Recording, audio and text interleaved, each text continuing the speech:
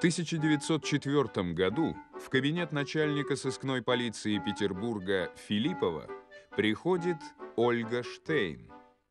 Она хлопочет о лазарете для раненых на войне с Японией русских воинов, собирает на него пожертвования. Репутация Ольги Григорьевны Филиппову известна, но в Маньчжурии идет война, а Филиппов – патриот. Деньги на страждущих и увечных – святое дело.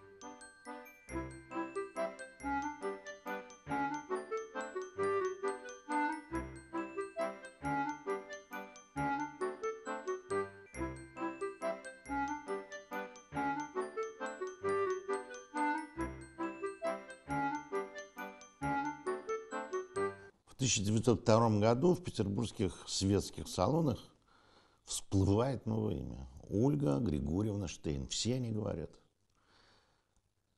То ли она любовница двух градоначальников фон Валя и фон Лауница, то ли она близка к самому обер-прокурору Святейшего Синода Константину Победоносцеву, но ясно одно – она может все. Провести закон через Сенат, ускорить прохождение бумаг в любом министерстве, добиться любой подписи. И жалобы на нее неожиданно начинают поступать к Владимиру Филиппову.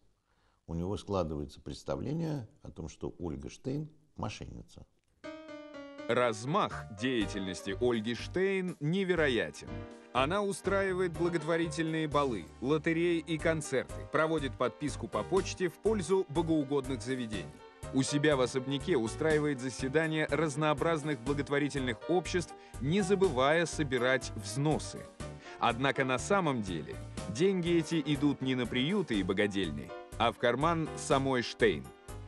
Штейн превратила благотворительность в легкий способ личного обогащения, но не брезгует и просто брать в долг. Берет где только может. Деньги, предметы роскоши в кредит, пользуется бесплатными услугами.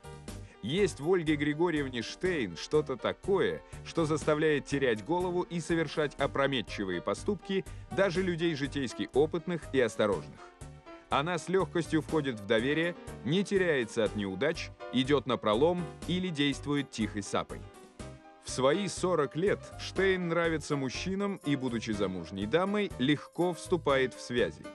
Молодых кредиторов мужчин Ольга Григорьевна просто обольщает. Она живет с одним из них, капитан-лейтенантом Борисом Геншером, ставшим ее верным рабом. Штейн открывает и еще один, новаторский способ мошенничества – Торгово-промышленная лихорадка начала 20 века заставляла зачастую нанимать на службу людей мало знакомых, без всякой рекомендации. С них требовали своеобразную страховку, денежный залог. Если служащий портил хозяйское имущество или проворовывался, залог служил хозяину компенсацией за нанесенный ущерб. Честному же человеку при увольнении залог возвращался обратно. На этом умело играет Ольга Штейн.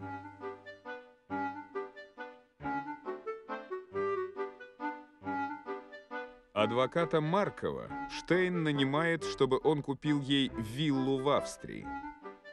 Он оставляет Ольге Григорьевне 8 тысяч рублей залога. За год пребывания в Австрии Марков не получает от Штейн ни копейки. Он тратит все личные деньги, не может купить обратный билет, даже голодает. Адвокат возвращается на родину лишь хлопотами русского посла в Вене.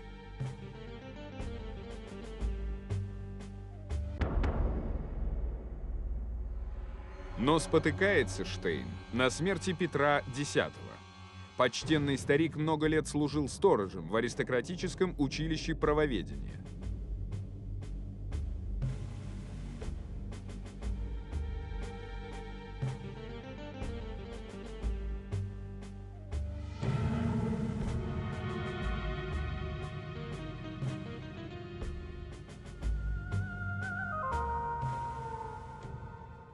Штейн предлагает Десятову должность заведующего лазаретным хозяйством.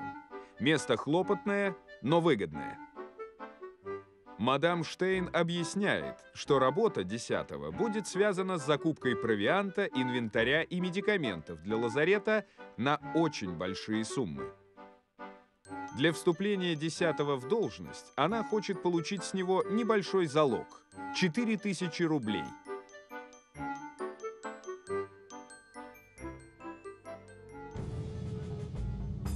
Десятов отдает все свои сбережения, влезает в долги. Настолько благородной и материально привлекательной представляется ему будущая работа.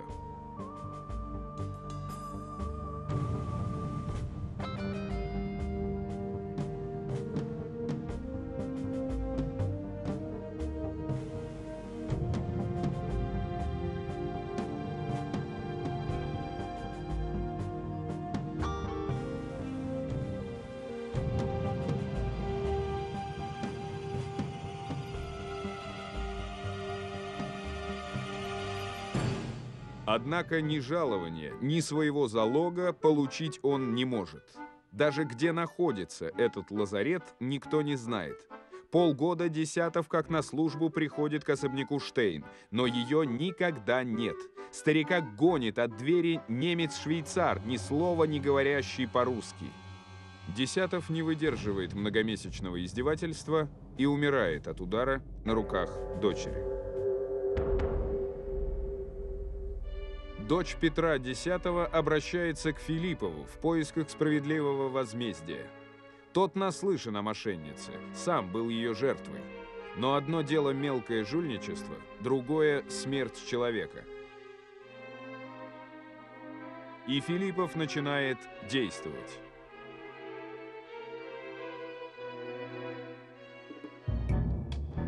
Но и прокурор, и судебный следователь отказываются вступать в борьбу с Ольгой Штейн.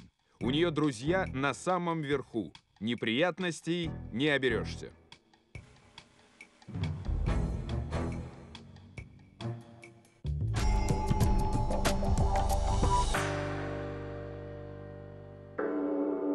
«1907 год. После тяжелой болезни умирает главный покровитель Ольги Штейн – Константин Победоносцев. И Филиппов добивается возбуждения уголовного дела против мошенницы. За два года у него накопился ворох жалоб на Ольгу Григорьевну.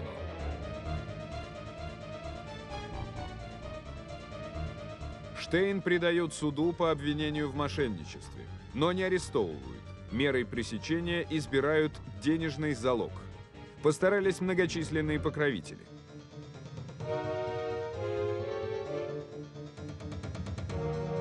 29 ноября 1907 года начинается суд над Ольгой Штейн. На заседание она приезжает без конвоя, по их окончании возвращается к себе домой. Перед присяжными предстают десятки свидетелей, каждый со своей душераздирающей историей.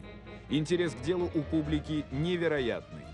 Гавриил Свешников нанялся к Штейн секретарем и управляющим, дал нанимательнице залог в 4000 рублей – Дел ему никаких не поручали, жалования не платили. Свой залог Свежников не может получить обратно вот уже пять лет. Надворному советнику Зеленскому подсудимая задолжала 9 тысяч, а когда тот обещал описать ее обстановку, выдала поддельную квитанцию Государственного банка на 10 тысяч рублей.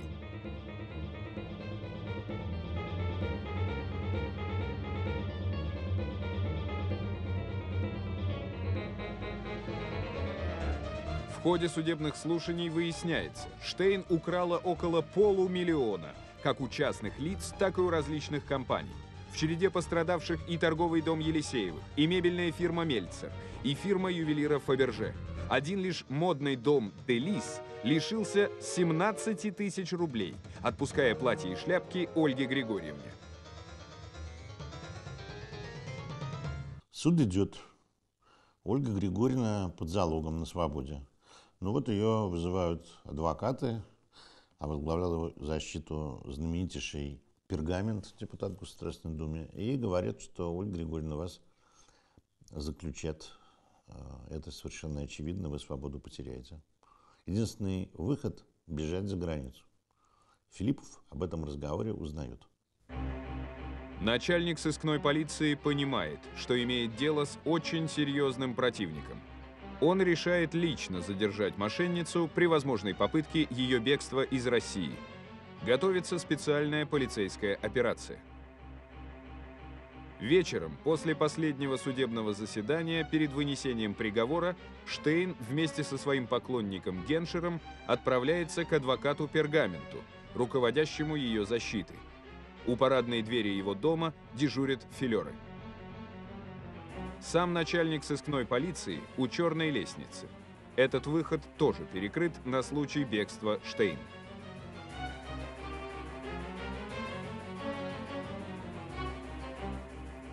Через час из парадной выходит мадам Штейн, садится в ожидающую ее пролетку. Клиентку провожает сам пергамент. Экипаж трогается, увозя Штейн. Через несколько минут Геншер уходит пешком по улице.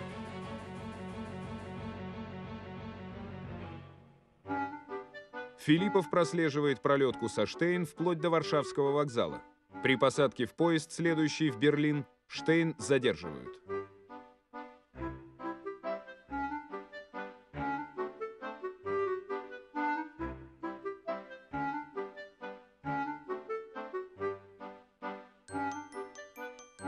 Но когда в зале ожидания она снимает шаль и шубу, всех берет оторопь. Это никакая не Штейн, а капитан-лейтенант Борис Геншер, переодетый в женское платье. Геншера арестовывают. Вечером того же дня, не вызывающий ничьих подозрений капитан-лейтенант садится на финляндском вокзале в поезд, отходящий в Гельсингфорс. Так Штейн, переодетая в морскую форму, покидает Россию.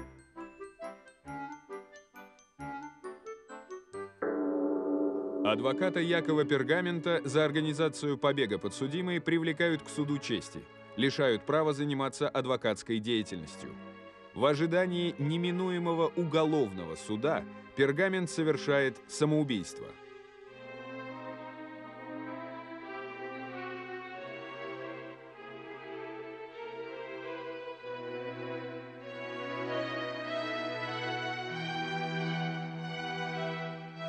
Филиппов взбешен. Пергамент, знаменитый адвокат, семейный человек, депутат Государственной Думы, еще одна жертва смертельного обаяния Ольги Штейн. Обманутые ею люди лишаются не только денег, но и жизни. Штейн необходимо разыскать и изолировать от общества. Вскоре Геншер, заключенный в тюрьму Кресты, получает несколько писем из Америки – Приезжай, все будет по-твоему. И деньги всегда будут, и все сделаю, что нужно. Без тебя мне не надо свободы.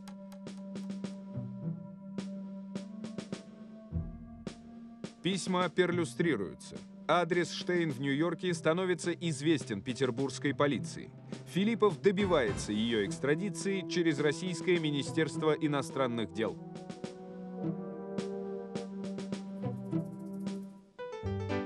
Билет на трансатлантический пароход был куплен на последние деньги. Но уже через полгода Ольга Штейн дает приемы в роскошном отеле Уолдорф Астория, становится местной звездой и на ее имя открыты кредиты в самых известных банках.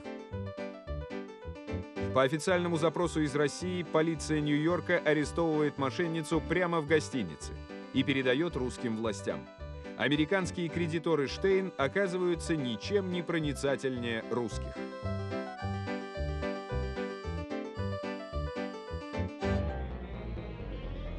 Целую неделю продолжается второй суд над Штейн. Филиппов доволен, мошенница получит по заслугам. Но Ольга Григорьевна против воли вызывает его восхищение. Все приключения и неурядицы не лишили ее природного кокетства, витальной силы, бодрости. Суд присяжных оказался снисходителен к обвиняемой. Непонятному обаянию этой по-своему незаурядной личности присяжные заседатели не смогли противиться – Несмотря на полную доказанность ее вины по десяткам случаев мошенничества, Штейн приговорена всего лишь к 16 месяцам тюремного заключения. Многие хотели бы жить на свободе в тех условиях, в которых Ольга Штейн отбывала наказание. Камера ее в Цискосильской одиночной тюрьме скорее напоминала благоустроенную комнату. Обеды ей возили из ресторана. Она встречалась со знакомыми, Через год заключение закончилось. В качестве места высылки Ольга Григорьевна выбирает уездный город Псковской губернии Остров. Для острова Штейн – знаменитость. О ее мошенничествах писали все без исключения русские газеты. И она решает превратить свое имя в своеобразную торговую марку. На заборах города появляется объявление.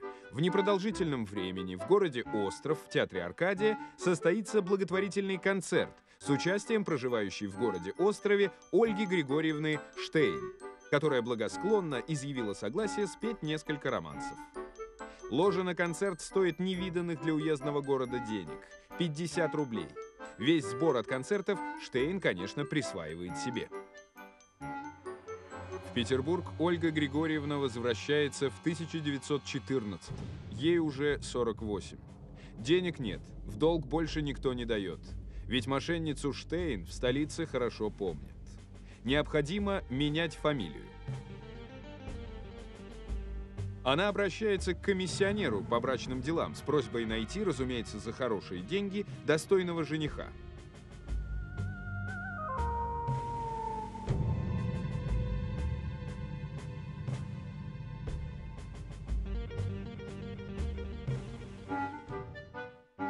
Вариант есть. Барон Генрих фон Остен-Сакен с безупречной родословной изобрел беспроигрышную систему игры в рулетку. Барону нужны деньги на эксперименты в казино. Комиссионер знакомит Штейн с бароном, но барон ей не подходит.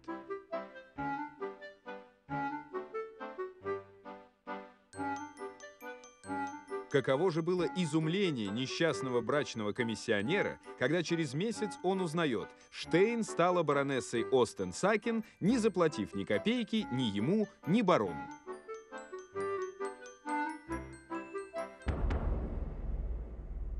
И снова Филиппов завален жалобами, теперь уже на баронессу Остенсакен. Набрала платьев на полтора тысячи рублей в кредит в гостином дворе. Тут же они оказались ломбарде. Вобрала какую-то несчастную француженку на пять тысяч рублей, обещая ей какие-то невероятные привилегии в Российской империи. На нее жалуются цветочный магазин Эйлерса, Фаберже, Елисеев – ну и, наконец, самый возмутительный случай. Видный, гласный городской глава Лихачев. Она шантажирует его, утверждая, что они были любовниками. И сейчас она об этом расскажет жене, если он ей не заплатит. А когда испуганный Лихачев приходит в гостиничный номер для переговоров, она попросту крадет у него из кармана портсигар ценой в 500 рублей. Высоких покровителей у баронессы Остен Сакин не оказывается. Никто на этот раз не мешает отправлению правосудия.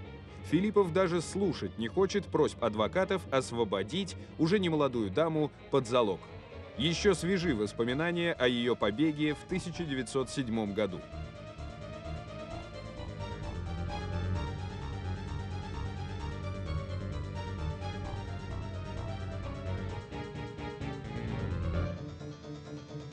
Владимир Филиппов присутствует и на третьем процессе над Ольгой Штейн. На этот раз присяжные глухи к чарам знаменитой мошенницы. Ольга Остен-Сакин, она же Штейн, получает пять лет тюрьмы. И Филиппов думает, что эра великой авантюристки подошла к финалу. Ему даже жалко эту удивительную, по-своему поразительно талантливую женщину.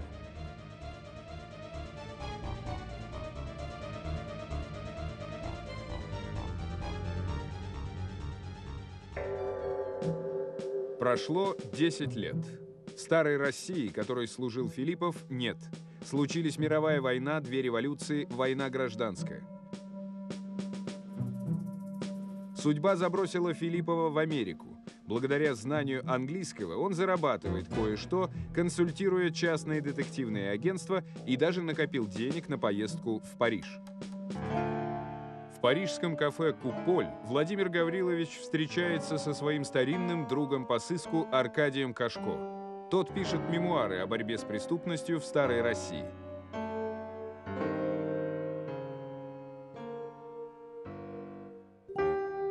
Друзьям есть о чем вспомнить. Поговорив о делах прошедших, Кашко сообщает Филиппову последние слухи из Савдепии.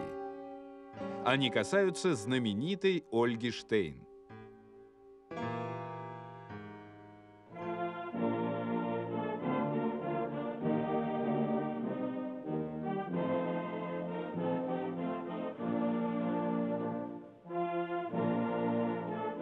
Она осталась в советской России.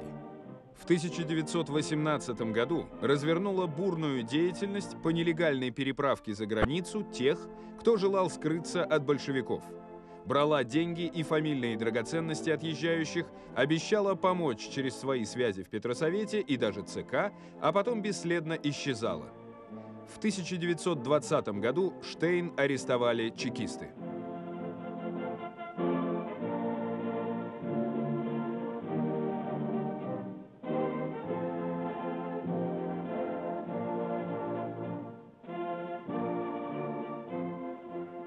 Может быть, помните, в «Золотом теленке» был такой ЗИС-президент Фунт, который сидел при старом режиме, при временном правительстве, при советской власти. Вот Ольга Григорьевна напоминала этого самого Фунта. В 1920 году ее приговорили к заключению в исправительный дом вплоть до победы мировой революции. Слава богу, мировая революция не случилась, так что Ольга Григорьевна отбыла то ли три, то ли пять лет наказания. А есть версия, ее распространяет известный московский историк Рокотов, что она не досидела и трех, а вместе с начальником своей колонии Кротовым, который в нее влюбился, ему 30, ей 60, они вместе сбежали в Москву. Ленинская Россия находится в фазе новой экономической политики. В огромном здании бывшего страхового общества «Россия», заполненного разнообразными государственными учреждениями и частными конторами, Ольга Штейн и Павел Кротов арендуют комнату.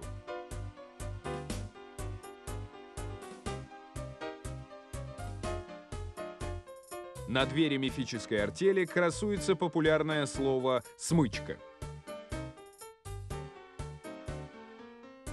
Штейн и Кротов выписывают ордера на получение прав на вождение автомобиля, накладные на вагоны, разрешение на ношение оружия и продают пароходные билеты по маршруту Москва-Астрахань. Обман наивных граждан продолжается полгода. Меняются только адрес и название конторы.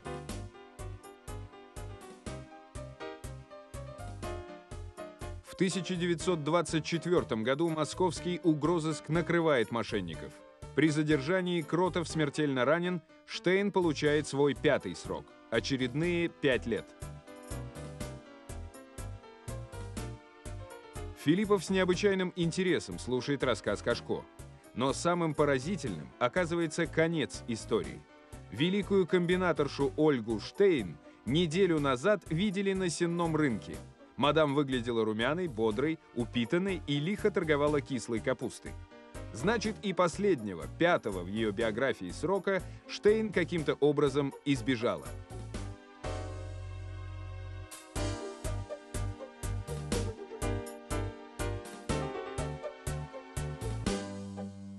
Уже в эмиграции в 1922 году глава московской сыскной полиции Аркадий Кашко встретился со своим коллегой из Петербурга Владимиром Филипповым. Два величайших русских сыщика долго не могли договориться, но из всего, что Кашко, который позже уехал из России, чем Филиппов, рассказал своему коллеге, конечно, Филиппову поразила судьба Ольги Штейн. Он три раза ее сажал. Сменилась власть. Теперь всем в России заправляли проклятые большевики. И при них она продолжала творить то же самое, что делала до революции. Так трава прорывается сквозь асфальт. Ольга Штейн, 1866 года рождения. Родилась в Стрельне под Петербургом. Дочь первой гильдии купца, крещенная еврейка. Закончила Мариинскую женскую гимназию, урожденная Сигалович, в первом браке Цабель, во втором Штейн, в третьем баронесса Остен-Сакин.